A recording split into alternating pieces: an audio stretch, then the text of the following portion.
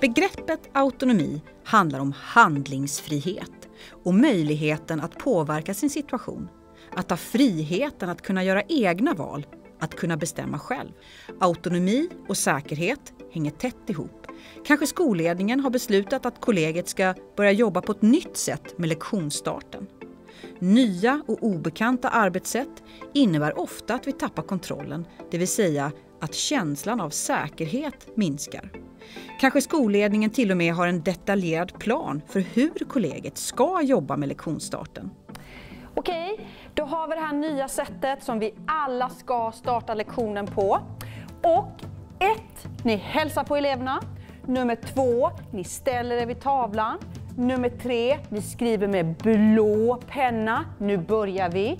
Och sen så ställer ni er på andra sidan och därefter tar ni närvaron och punkt nummer sex, ni ber eleverna att fälla ner datorlocket. Det är exakt så som alla ska göra. Okej? Okay?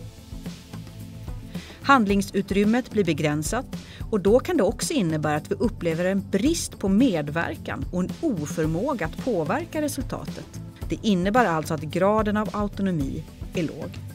Autonomi påverkar alltså spändheten i det limbiska systemet.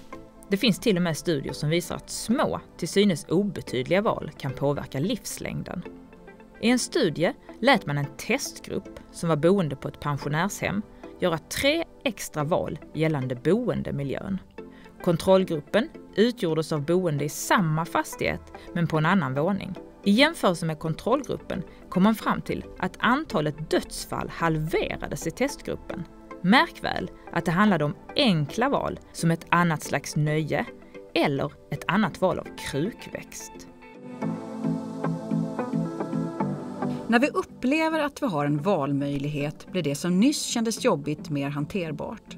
Att hitta ett sätt att göra ett val, hur obetydligt som helst, verkar ha mätbar effekt på hjärnan och får oss att gå från en ifrånrespons till en tillrespons. Det är uppfattningen att vi har ett val som är det viktiga för hjärnan.